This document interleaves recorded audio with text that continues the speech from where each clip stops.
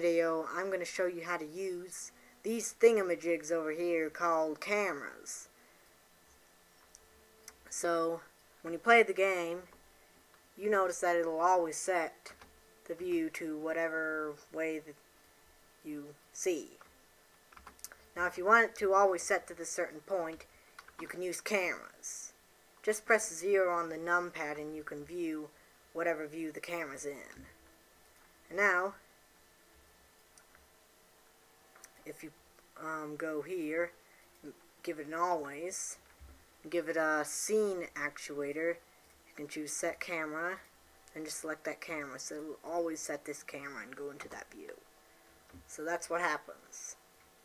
Now there, if you want this camera to follow this cube when it moves around, there are some ways to do that. You can either select this cube, hold shift and select it, and then hit control P, and then you can parent it. So then it goes and follows it that way. Or you can go move that parent. Then you can always do the camera actuator and select the target, which is the cube. And now it will follow the camera in this certain this object in this certain way. So we gotta set the height. Let's make it 5 distance, minimum distance, I'll make that 20. Maximum distance, I'll make that 25. Damping, I'll just uh, set that to 0. Now, you can see that it's following it. If you set the damping to a high value, you can notice it behaves a little differently, the camera does. If you wanted to set like a very large amount, like 10 is the maximum, does some weird stuff. So let's just set this to 0. There are other options you can do with this camera.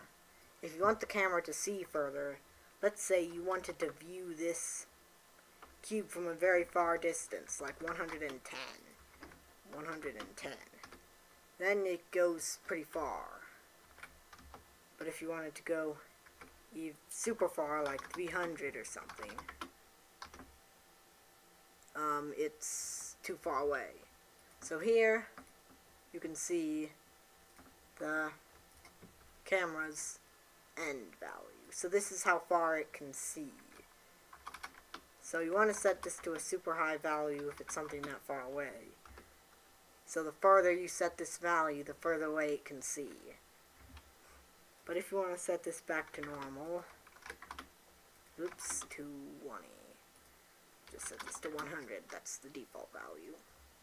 You can also change the sensor's size horizontally, so you can make it 20 and it'll look longer and zoom in a little more.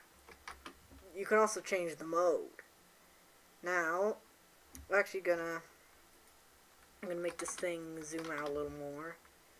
Change it to orthographic, it'll view this cube in a two-dimensional sort of way.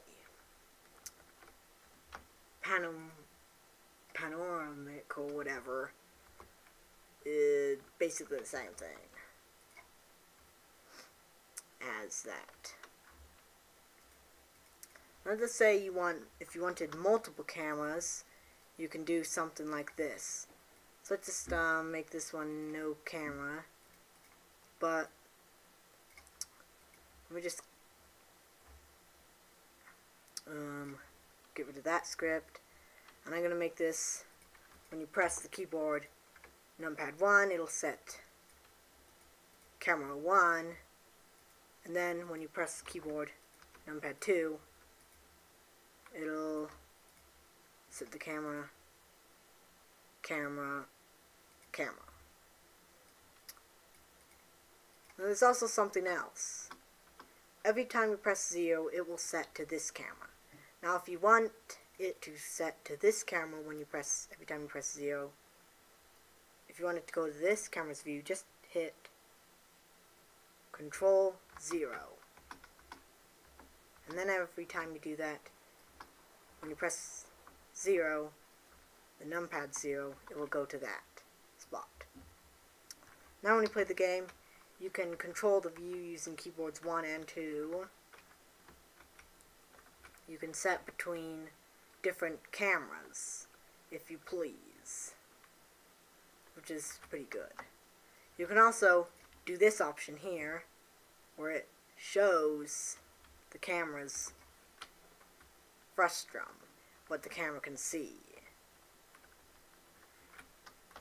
And if you set the end for just make this one that has the show frustum. Let's, if you make it super sight super short, you can see how long its vision is with the camera frustrum. But if you don't want to show that, just don't check that. And that's everything you can do with cameras, and that's it for this tutorial.